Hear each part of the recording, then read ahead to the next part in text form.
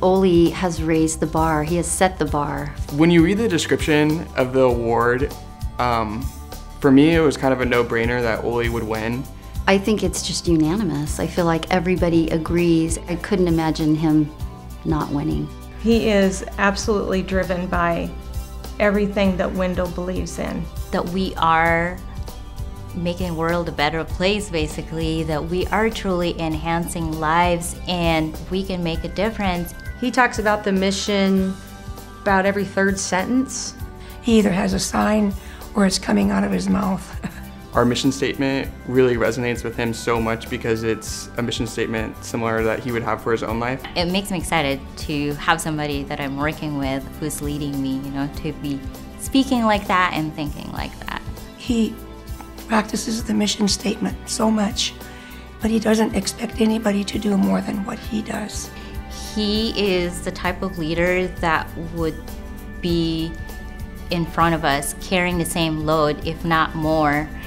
Not everyone's willing to put on scrubs and work night shift as a caregiver, but Ole doesn't think twice about it. That's just who he is, and that's what he's going to do to support the team. The first uh, winter we were here, and he drove around pretty much all day and all night picking people up to get to work or get home from work, make sure we were staffed. Um, you know, he could have called cabs, he could have done this or that, but he did it himself. That's not what we ask all of our leaders to do, but it's what he has chosen to do. And so he's fostered that idea where everyone will drop everything and help. Every day he is thinking about ways to how he can empower his staff and enhance the lives of the residents. He wants everybody to be their best, so what he does is he sets you up for that success. He is having the wait staff train in the cafe, Royal Land, and Village Square. And it's amazing. I mean, you can just see them blossoming. Ole's definitely on the forefront of pushing people outside of their comfort zones in order to do better and exceed expectations. He's not afraid to tell what's happening. He's not afraid to lay it on the line and say, if he made a mistake, he made a mistake. He's never going to be satisfied. He's always going to want to do better.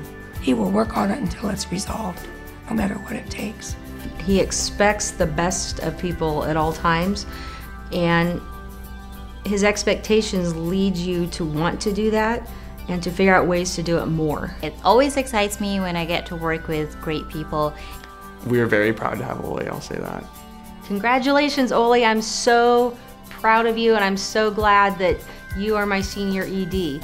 And Ole, I'm looking forward to making a difference with you. Congratulations. You have brought us a long ways in the short time that you've been here. You go, Guy. You truly are an amazing person and have been the greatest mentor to me and pseudo big brother, and I'm so happy for you, Ole. Congratulations. Congratulations, Ole. Congratulations, Ole.